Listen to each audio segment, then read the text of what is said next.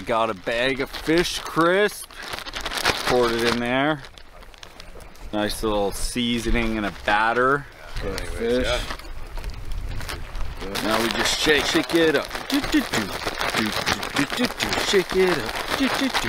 Come on, let's twist again, like we did last summer. Ooh, let's twist again, like we did last year. You remember when? Oh, we were really humming. Yeah, let's twist again, like we did last year. Do, do, do, do. Boom. Done.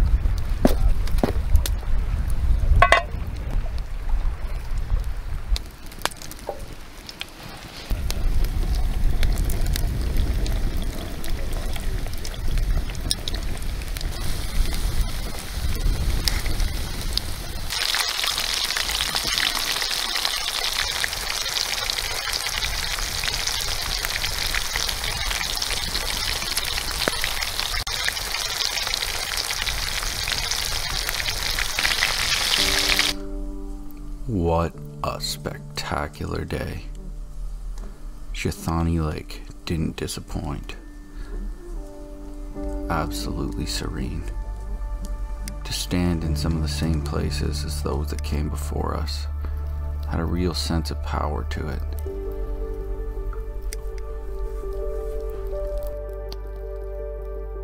This campsite was really proving to be one of the best of the entire trip.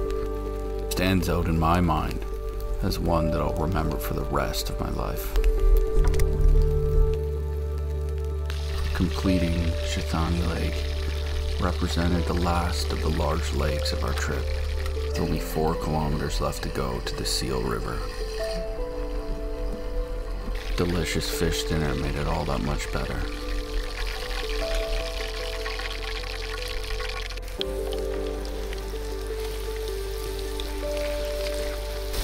Little Cajun fish crisp and some Frank's buffalo were all the luxuries we needed. Pike for dinner.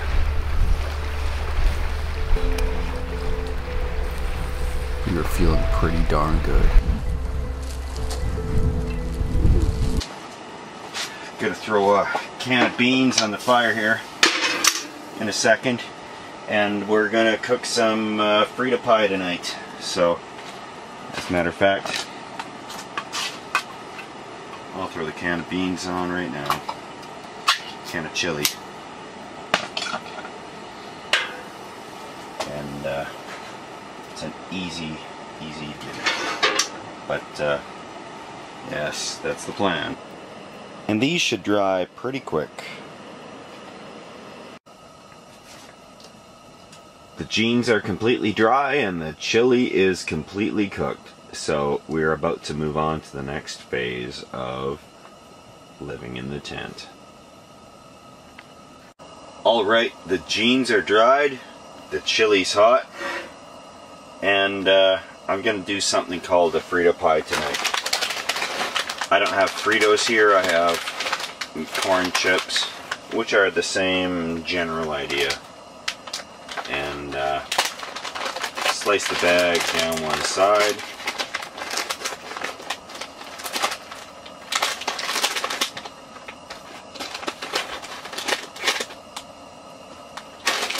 I'm going to break them up just a little bit so there's not huge chunks of uh, chips in there. In step two,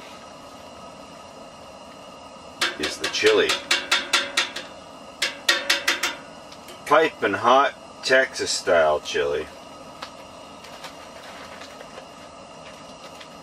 Alright. So now we got that in there. Gonna uh, set her down for a sec. Because the next required ingredient if you want to be a true Texan about this, is cheese. Now, they stop there. after the cheese. And this is a great camping meal. Because cook, cook it right on the stove from a can and put it in a bag. So, got a lot of cheese in there. But you can never have too much.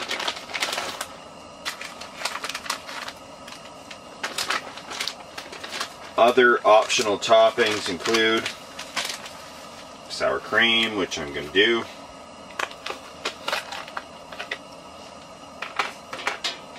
And uh, chopped onions, uh, jalapeno peppers, whatever you might want to throw onto this thing. But uh, I think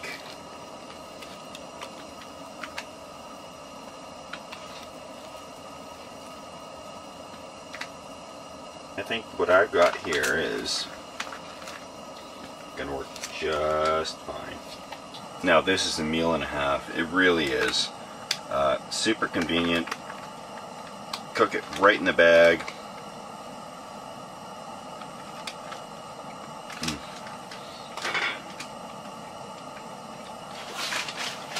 Fantastic. If, if nobody's had uh, Frito pie before, well, it's chili and corn chips with uh, toppings served in the bag. But uh, works out real good for me. A super easy meal. Here we are again. Uh, gonna saute some veggies with the little red uh, sin bin red ale. Mm -hmm. Beautiful wife doesn't really like green peppers, so I'm doing these separately because I like them. Uh, but uh, the red peppers and onions will certainly need a little flavor. We'll see if these will cook on here. And we sit by the fire. Sure is a beautiful night. Uh, it's chilly, but by the fire, it's quite okay. Well, flashlight's running out of batteries, but we're gonna put a bunch of food into this uh, French bread loaf here. Got uh, sauteed peppers and uh, onions, Montreal smoked meat, uh, Swiss cheese. We'll put it in between the slices here, wrap it in foil, throw it on the fire. Can't get easier than that.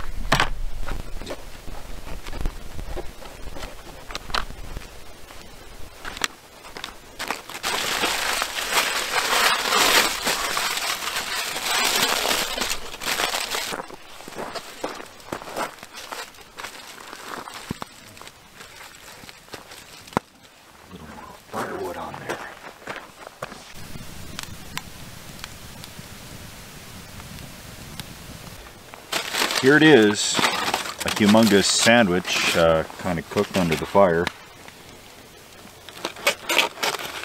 I'll try and cut in between the uh, perforations and yeah, make a bunch of little sandwiches out of this.